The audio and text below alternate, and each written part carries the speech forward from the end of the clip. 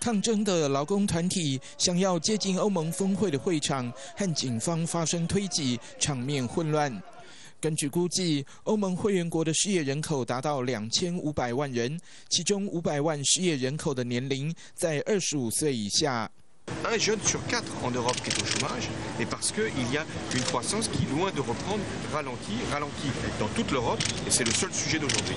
像是要呼应场外的示威声浪，高峰会的地主意大利总理伦兹主张放宽预算赤字，占 GDP 百分之三的上限。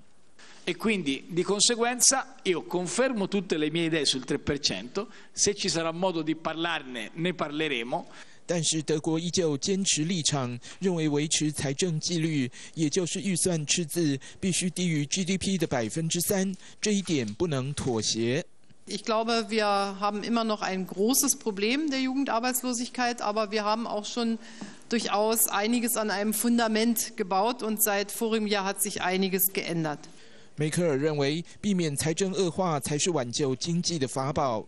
六个小时的高峰会，在各方坚持下，并没有任何新的建议或共识，只有同意继续执行六十四亿欧元的青年失业基金。